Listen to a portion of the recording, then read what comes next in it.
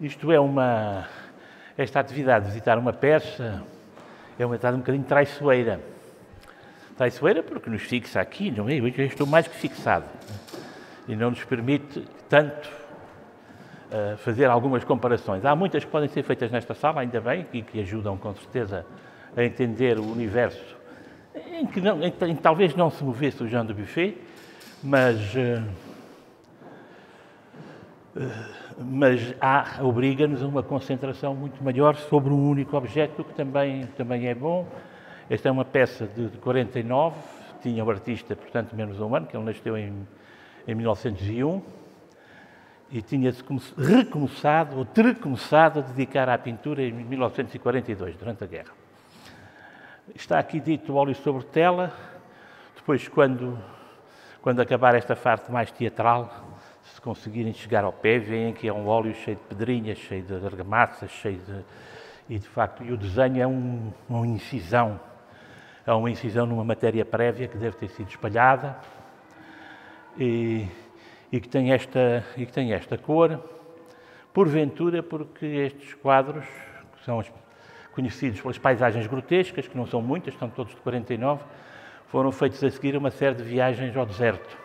Argélia, ao sul da Argélia, já no deserto, e aí hum, a presença de facto da areia, a presença das grandes horizontalidades e a presença de um povo que vive mergulhado na terra, quase como esta, estas figuras aqui que aqui aparecem, estão mergulhadas nesta matéria. É uma pintura que, uma pintura não, um desenho, porque isto é um desenho, acaba por ser um desenho inciso, que surge da matéria, não é? Não há, não há separação dela.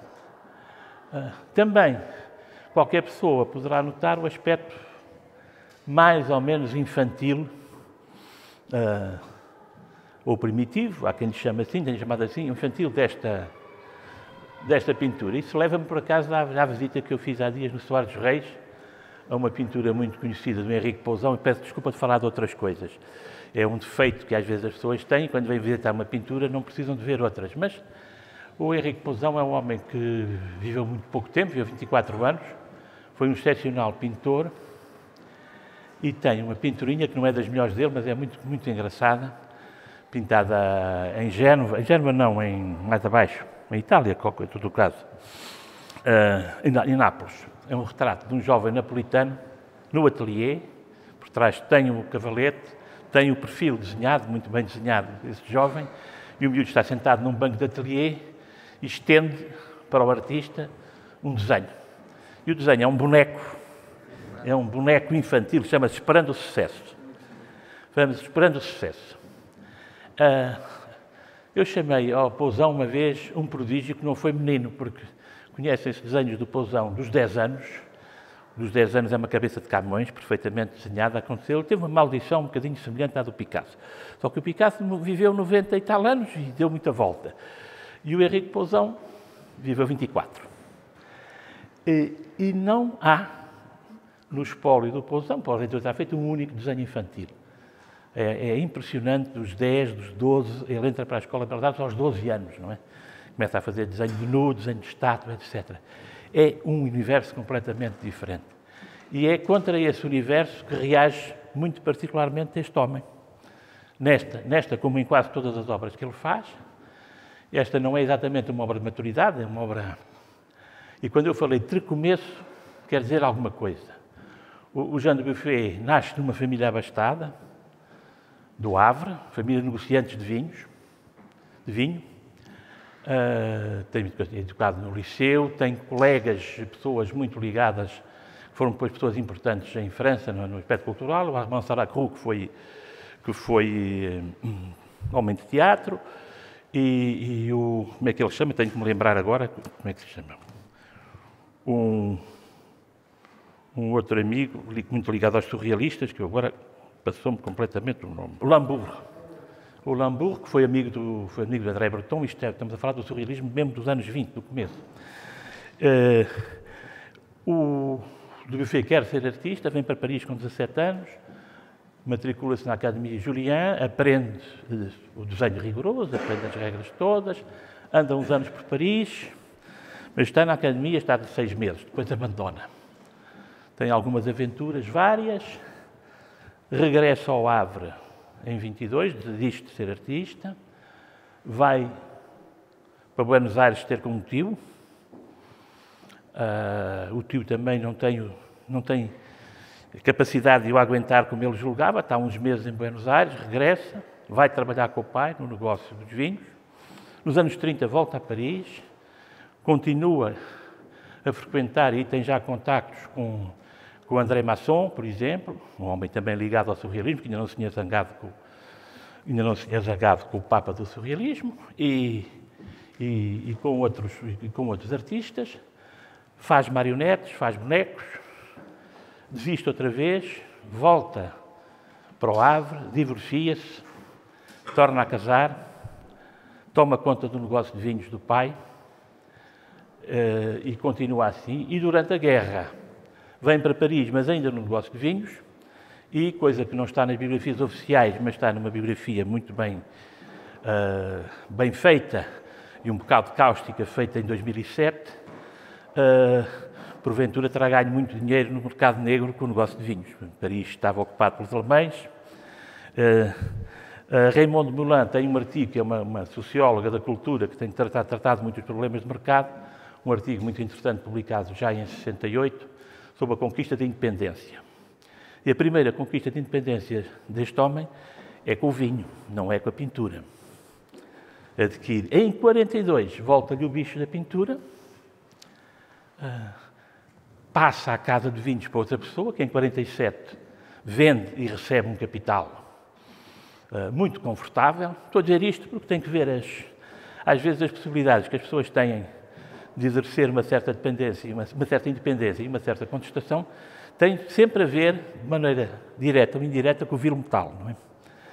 Eh, e essa, essa independência conquista, ele conquistou-a depois, conquistou-a depois numa, de uma maneira muito, muito marcante, mas é só aos 40, depois dos 40 anos passados que ele resolve ser pintor mas resolve ser um pintor contra o sistema, quer dizer, contra o sistema das belas artes instituídas e até do sistema bem comportado daquilo que estava a nascer, até com alguma resistência, da segunda escola de Paris, que poderão ver, não na sala a seguir, mas na outra, a segunda escola de Paris, portanto estamos a falar no Bissier, na Vieira da Silva, nessa geração, ele é, desde o princípio, e quer ser a antítese disso tudo.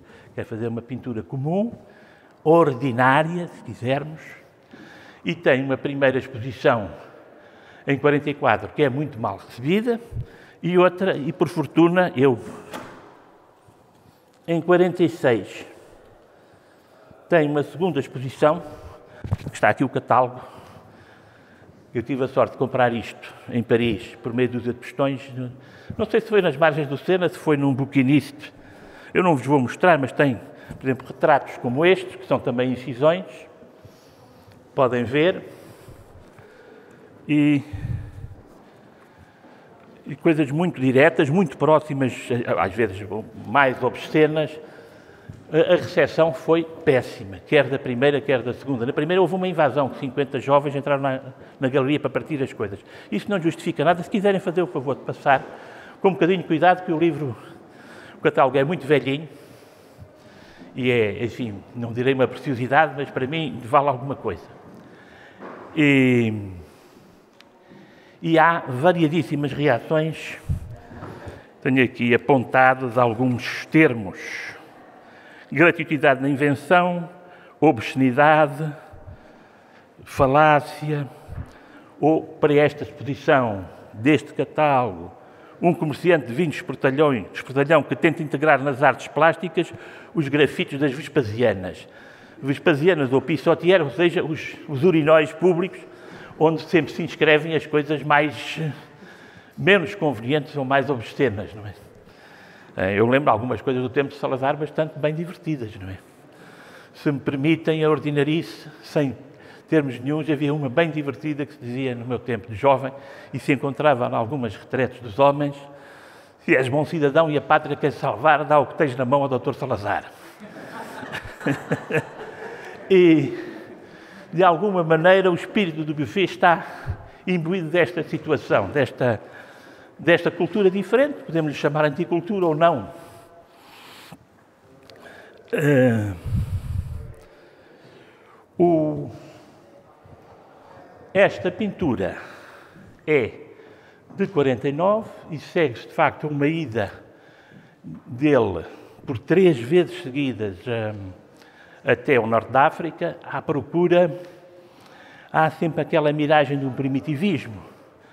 Uh, ele tem vários, várias figurações de, de, árabes, várias figurações de, de, animais e de pessoas, sempre dentro de um género, muito, de uma expressão muito direta, e este regresso, isto marca justamente esse regresso, uma acalmia e provavelmente uma decisão que o, o despaísamento não se fazia propriamente no norte da África, isto existia na própria, na própria cidade de Paris, na própria França, porque ele estava, estava de um outro lado. Claro que, por exemplo, neste catálogo, o prefácio é de Michel Tapier, que é um defensor, um defensor depois do informalismo, que vai juntar, é uma sorte, vai juntar muito o Fautrier, que é um homem que aparece, aparece durante a guerra, com a estética de otage, uh, com a relação das vítimas, das vítimas dos alemães, quer dizer, e aí o, o, o, nosso amigo do buffet não se meteu nunca, nunca foi um homem muito para se meter em políticas, fazia o seu negócio dos vinhos, passou do negócio dos vinhos para o negócio da pintura, chamemos-lhe assim,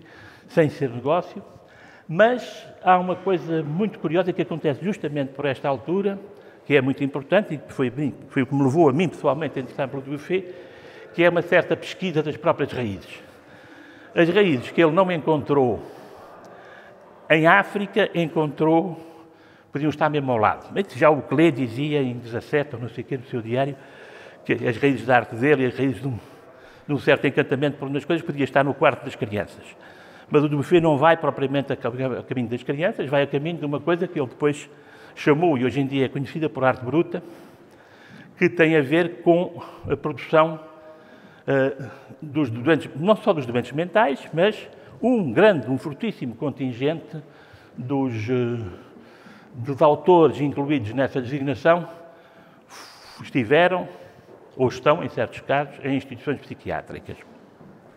Não é o último caso, há uma grande defesa dos surrealistas, eh, da arte dos loucos, dito assim, sem, sem qualquer aspa, e, eh, e, o André Breton aproximou-se muito, e ele também se aproximou muito do André Breton, mas lá eram dois galos no mesmo galinheiro e a coisa não podia funcionar bem, até porque havia precedentes.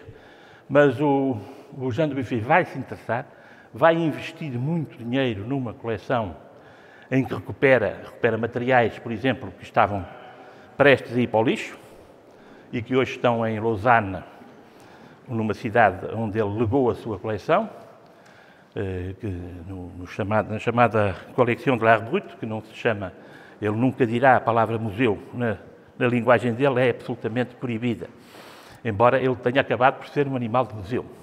É das tais contradições vivas que todos nós somos, e o facto de estarmos em dia 1 de Abril é um dia especialmente adequado para falarmos destas coisas e das contradições que nós temos que sempre enfrentar na vida, que o Dambuffet, de alguma maneira, foi uma contradição viva.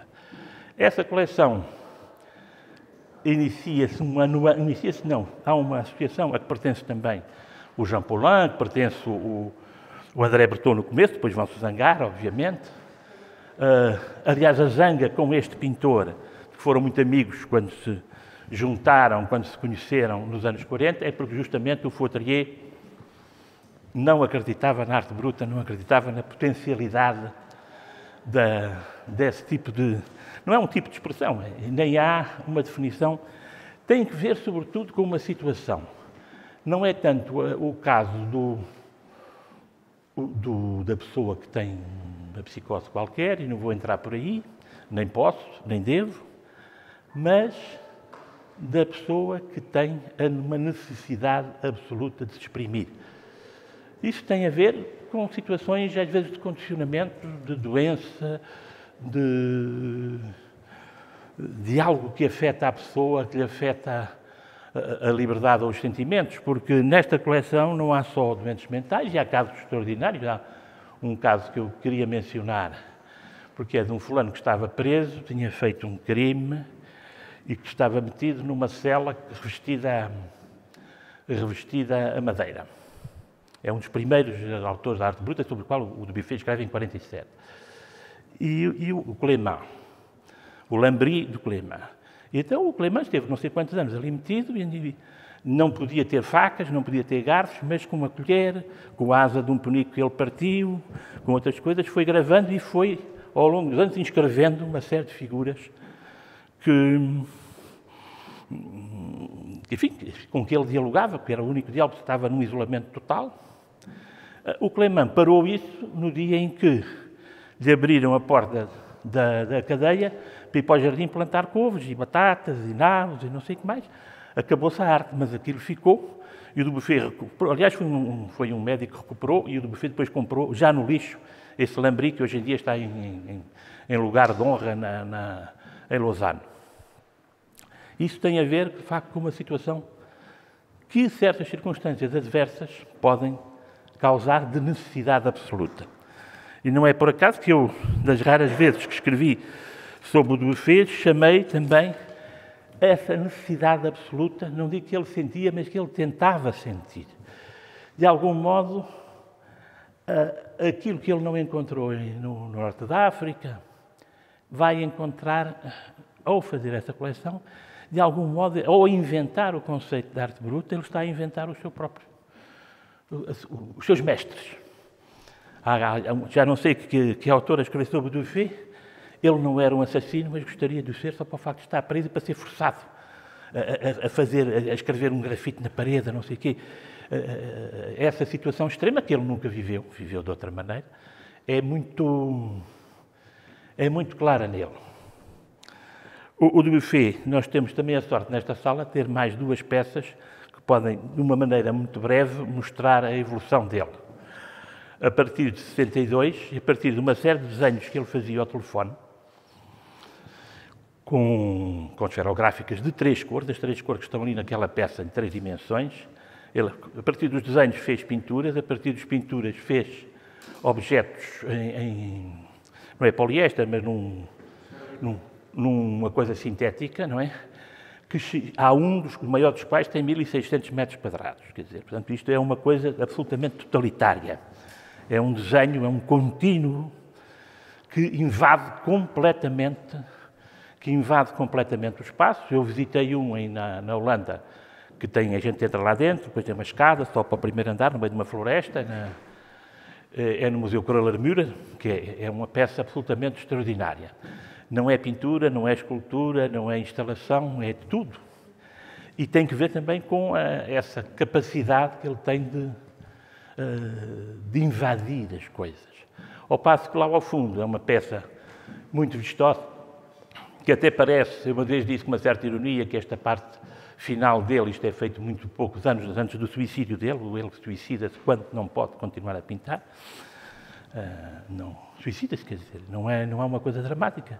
Tem algumas cartas a pessoas a despedir-se, la peinture c'est fini, un c'est tout, vamos acabar com isto. Já não se podia mover, não se podia levantar, são pinturas feitas, aquela tem vários papéis, se forem ver, feitas muito em cima da, muito em cima da matéria e sem, e sem recuo. Nós agora temos todo o recuo do mundo e até resulta muito bem. Mas, a partir de uma certa altura, nem isso conseguiu. Eu tive a oportunidade de ver algumas pinturas de um grande pintor português, eh, pouco antes da morte dele, aos 90 anos, que já não conseguia fazer um gesto completo. A gente vê, homem que pintou até à morte, ou como os dramáticos desenhos do Picasso, do fim da vida, que são desenhos que parece que implodem, que caem que, que caem, podem para dentro. É como, como, como aquela imagem que eu tenho, que muitos de nós teremos do buraco negro que devora as coisas, é, os desenhos finais do Picasso são um bocado assim. Aqui não estamos nessa situação, mas estamos numa situação em que o facto de não haver figuras é que já não há capacidade nem de fazer estas, estas figuras grotescas, aliás, o nome da, da, da série de pinturas é pintura grotesca, mas que ainda há a possibilidade de, do gesto e do gesto se fechar e depois de inscrever uma coisa em cada fechamento dele. Isto é só para dar uma ideia muito clara e como estamos aqui da evolução dele, num, num sítio em que também tem algumas pessoas com que ele conviveu muito, que é o, o, Michaud, que ele admirava muito mais como poeta do que como, do como artista plástico, que é um homem também da experiência e de um certo automatismo, aliás, é um homem da experiência da mescalina, não sei o quê, e lá ao fundo, não o primeiro, mas o outro, o Arthur John, um cúmplice mais de experiências musicais. Fizeram uma espécie de música bruta.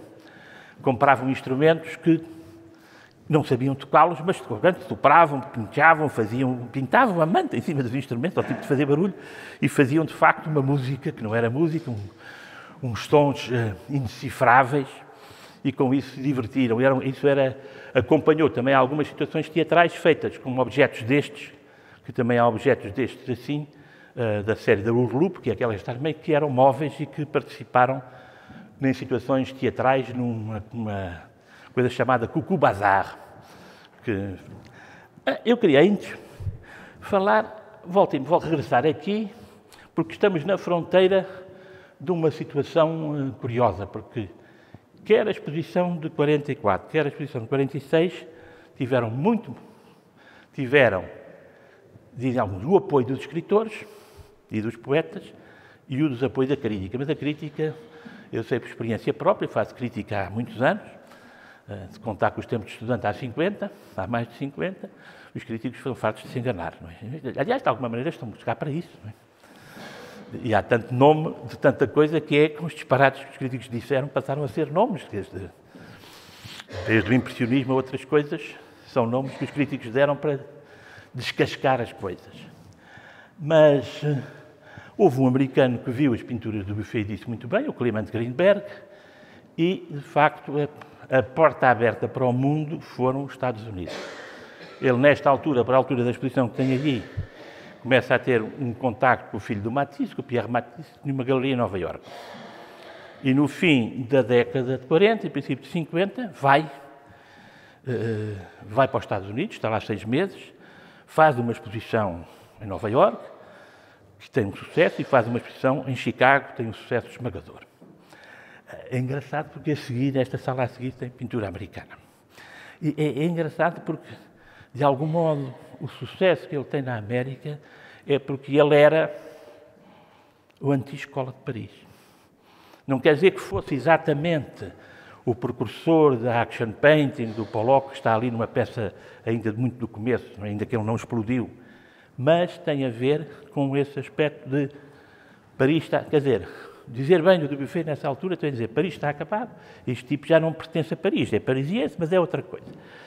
E, e de facto, isso substituiu amplamente o negócio dos vinhos. É? Amplamente o negócio dos vinhos. Pode-se dizer uma contradição, a contracultura dá dinheiro, às vezes dá.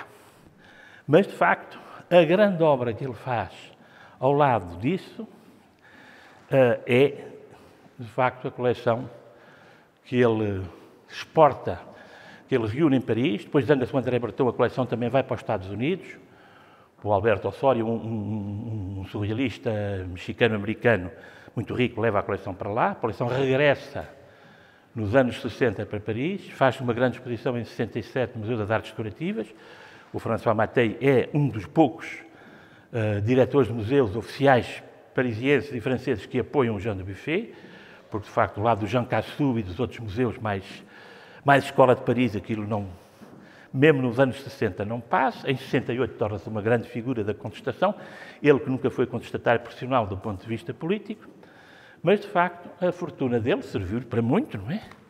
E serviu-lhe para construir, de facto, uma, uma coleção extraordinária que é uma das, das situações mais interessantes que há de, de, de podermos sentir o que é a necessidade absoluta de criar porque não são só, não são só os malucos, chamemos-lhe assim, de uma maneira como o próprio Buffet faria, não são só os malucos, não são só os prisioneiros, há casos, há casos, pronto, há casos de necessidade absoluta, quer dizer, eu, eu tive a fortuna na, na, na Rua de Sèvres abrir umas gavetas e ver os desenhos de uma senhora chamada Laura, e a senhora, aos 30 e tal anos, o marido abandonou e ela começou a desenhar.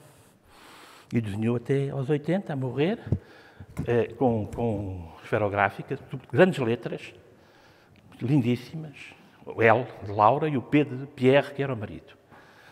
E foi a maneira como ela resolveu o problema durante o resto da vida. É? E guardava tudo muito bem guardadinho, aquilo não era para ninguém ver, era para ela. Esse também é esse individualismo feroz que tem o Dubuffet nestas peças, porque cada quadro é um quadro, cada figura é uma figura, uma vai para ali, outra vai para baixo, e isso tem muito a ver com a maneira dele. ir à procura dessas raízes que estão ali ao lado, mas que não, não é exatamente o quadro no quarto das crianças, estão na cabeça de toda a gente. Não é que toda a gente seja capaz de fazer essas coisas, é mas acontece. E vê-se, de facto, na coleção dele, pessoas a quem deram os meios, meios no sentido de tinham tempo, não tinham mais nada para fazer, tinham material para fazer as coisas e, e iam para a frente. Inclusive peças feitas por cegos, peças tridimensionais feitas por cegos, como resposta, como resposta a esse desafio tremendo, que é com certeza para uma pessoa que vê, já em, em jovem e adulto, que é, eh, que é cegueira, não é? Uh, de modo que uma grande parte da, da coleção, do género da coleção, disparate, do dinheiro que ele ganha é destinada a, a reunir, a, a, publicar uma série de cadernos chamados Cahiers de l'Art Brut, e de facto ela inventou as suas origens. No fundo, são origens que moram no coração de todos nós, quer dizer, ou que podem morar no coração de cada um de nós, e que mostram como, de facto, nós somos um animal singularíssimo, não é? E capaz, capaz do melhor e capaz do pior, e capaz de, em certas circunstâncias, irmos buscar, uh, irmos buscar uh, coisas que são completamente inesperadas. Não queria deixar de dizer que existe neste momento em Portugal uma boa coleção uh, da Art Brut, está em São João da Madeira. Essa coleção foi mostrada na Fundação Arpad Zenes Vieira da Silva aqui há uns anos. Uh, o catálogo tinha muito boneco e era bom por esse lado. Francamente, acho que tinha que ver com pessoas que estiveram, porque, entretanto, o que é que acontece? Quando o buffet começa isto e quando também reúne a coleção de arte bruta, são coisas que. As primeiras coisas foram retiradas do lixo, às vezes do lixo dos hospitais. Depois, as coisas eh, começaram a sair publicações. Depois, mesmo que não se chame um museu, criou-se criou-se uma associação e criou-se, de facto, uma instituição em Lausanne. Eu, quando fui a Lausanne de propósito para ver aquilo, uma responsável pelo museu disse: agora aparece um maluco debaixo de cada pedra, não é? Portanto, ah, o meu tio fazia não sei o quê. Mesmo em Portugal, eu próprio, como tenho interessado, tenho, tenho uma pequena reunião de coisas várias, não é? De, de, de pessoas que, que, que, tinham essa pulsão de fazer coisas, não é? Eh, e isso, eh, de facto, eu agradeço muito ao Jean de Buffet ter eh, aberto esse filão. Claro que, como tudo é contraditório neste momento, há revistas, há galerias, há negócio e as coisas estão completamente inclinadas por esse lado, porque, inclusivamente, ao nível da arte portuguesa, há pessoas em que, neste momento, há já um retorno da arte bruta para a arte culta, quer dizer, se forem, já não vão porque já não estão a tempo, mas há uma, uma pintora que eu estimo muito, portuguesa, uma mulher relativamente nova, tem 50 anos ou 51, chamada Fátima Mendonça, que é uma mulher claramente influenciada por essas situações. E no meu caso único procurarmos bem, encontramos mais. Mas isso tem a ver, de facto, com essa invenção ou descoberta das raízes, que acho que é uh, o mais importante que este homem fez, para além do, do, do, gosto e do gozo que me, dão, que me dão pinturas como estas. Claro que eu acho que se eu mostrar isto aos meus netos, eles não têm, não têm grande problema, porque desenham de uma maneira, podem desenhar de uma maneira mais ou menos aproximada. O, o Dubuffet é muito próximo dos cotidianos. Não, isto é uma paisagem. É uma paisagem que é colocada, como muitas vezes, na horizontal. Ele diz muitas vezes que os seus retratos são paisagens, portanto, isto está. Os, nós podemos lê-la de diversos ângulos, não é? Portanto, temos este, este personagem de uma maneira, este personagem de outra, não está deitado, está a avançar aqui para umas flores, e também uma personagem, uma paisagem com arbustos, nós vemos os arbustos, vemos os caminhos. Há uma semelhança com o desenho infantil, há uma semelhança com o mapa, com o mapa, com a cartografia antiga. Se começarmos a, a ver aqui, há planos de topo, há planos de lado, encontramos aqui uma multiplicação de espaços, sem dúvida alguma, que é própria, de facto, da tal expressão muito direta que cada um de nós uh, cada um de nós utiliza. Eu, por exemplo, quando vou ver exposições, faço apontamentos que não vos vou mostrar, que são uma vergonha, não é? Eu não desenho. Mas que, mas que, mas que, mas que, por exemplo, por exemplo, isto, isto não é nada. Ah, desculpe, não queria tirar isto não é nada.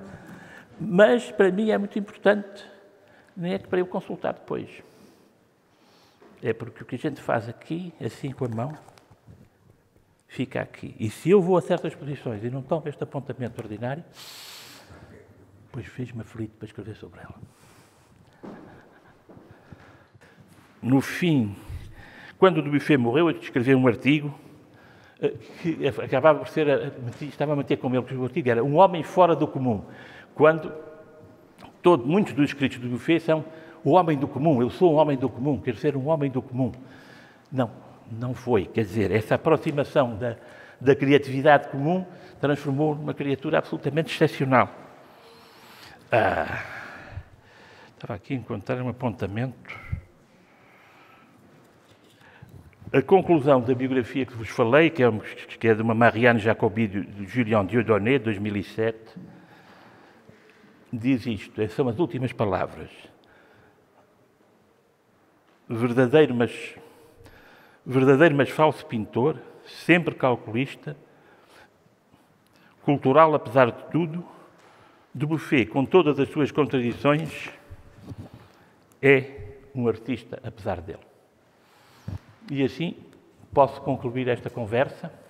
Espero que vos tenha chamado a atenção para alguns, para alguns aspectos, não só da arte ocidental, como da não-arte, como de facto dessa dessa descoberta. Quer dizer, já muita gente tinha descoberto antes, mas que o Buffet afirma de uma maneira muito particular dessa capacidade que, de facto, qualquer pessoa, em qualquer lado, pode ter de criar.